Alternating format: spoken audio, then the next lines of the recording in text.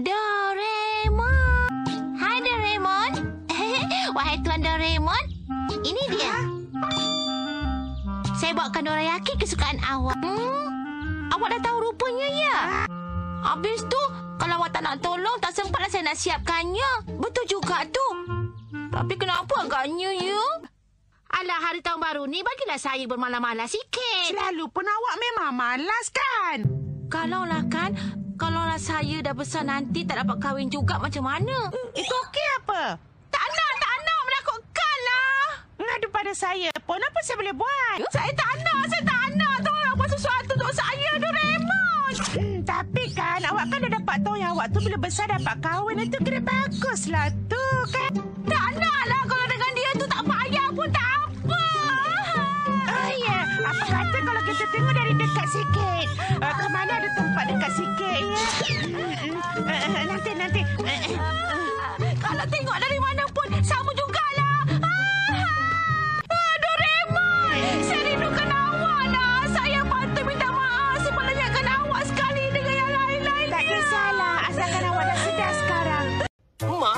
Curi rasa makanan tu.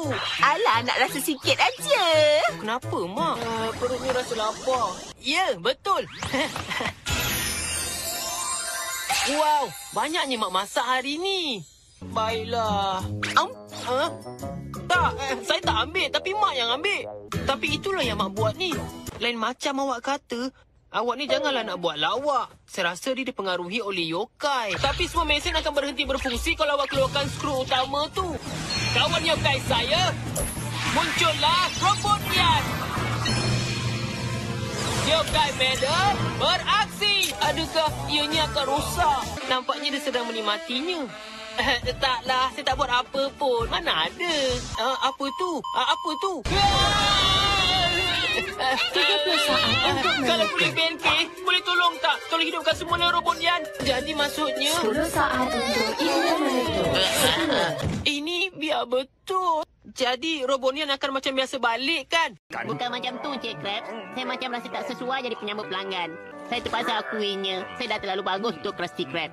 Tiba masa untuk ke tempat lain. Jangan macam tu, si manis. Saya yang patut bayar. Lagipun saya kan lelaki. Dan saya memakai... My counter raya bertauliah ni tak seronok macam saya sangka. Mungkin kalau kita lagi bising baru seronok kan lah. Saya rasa betul dah tu. oh, saya rasa Patrick boleh buat permainan. Boleh, tak ada masalah. Boleh tak awak sambungkan kami kepada elektron atau awak dedahkan kami kepada cahaya gamma. Sandy, kami dah balik. Sekarang mari kita kira. Kita nak kira pasir putih dulu ke, kemudian pasir hitam atau awak nak baldi sendiri? 12 hari bulan cerah. Kalau dia mengganggu awak, suruhlah dia datang ke rumah saya. Saya akan ajar dia. Tapi kan lagi bagus kalau Nobita tu buat sendiri kerja rumah dia. Shizuka, ha, apa yang tak kena? Ha, kenapa ni? Shizuka, takkan saya nak tulis benda macam tu. Percayalah. Uh, taklah, bukan macam tu. Sebenarnya saya pun sangat suka pada awak, Shizuka. Tapi saya tak suka kena bergantung dengan mesin ni untuk dapatkan perasaan awak. Saya rasa semua pun seronok dibaca. Jadi saya cadangkan untuk awak. Yang ni macam mana? Pakcik Tom bilik kecilnya. Eh, tak pelik lah. Ini cerita dulu kala kisah seorang orang Amerika yang hidup susah di zaman dulu. Saya rasa baik kita cari buku lain je lah. Uh, awak ni nampak kelakar jugalah orangnya. Uh, kalau yang ni macam mana? Kehidupan budak 15 tahun. Tapi kesimpulannya macam mana nanti? Ah, saya ni benci lah kalau nak jadi buku. Eh, sudah, sudah. Saya benci tau. Benci. Uh, betul ke ni? Awak boleh nampak saya ke Zura? Manggi! Benda ni menakjubkan Zura sebab ada orang yang boleh nampak saya. Nama saya Komasan Zura. Selamat berkenalan. Zura, saya memang nak tengok anjing dari tempat suci Zura. Anjing tu tak bergerak. Jadi, saya pun tak gerak juga Zura. Dia hanya akan bergerak bila ada perayaan. Ianya seronok bila tengok Zura. Tapi yang paling saya teruja ialah aiskrim Zura. Nama saya Uchiha Sasuke. Benda yang saya benci ada banyak. Tapi benda yang saya suka tak ada. Lagi satu.